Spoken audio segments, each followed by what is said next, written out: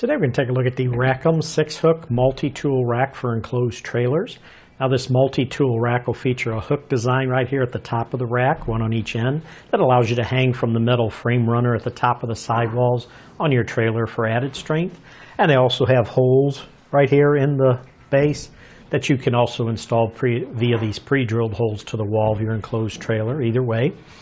Now, if you notice, they have strategically spaced hooks that'll hold rakes, other types of hand tools in your enclosed trailer.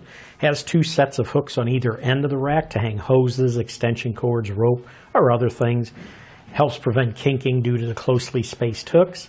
And these hooks do have many uses, holds cords, belts, tie downs, and other things, and can hold virtually anything that'll coil or has a loop on it. The hooks also can be folded toward the wall. You can see right here. You can fold these, let me just lay it flat you can fold these down if you want. And it'll give you added clearance inside your trailer, or they can or they can be made to stay open. If you look right here, there's a little tab with a hole on it. By installing a screw through that hole in the hook, and it'll hold it in the open position. Now this rack is great for hardscaping. Has a nice hammered finish, will last years. It includes six folding hooks. A few specs on this: the overall height from the top of the mounting bracket to the bottom of the hooks. Let me lay this down and that's going to be right at 17 inches.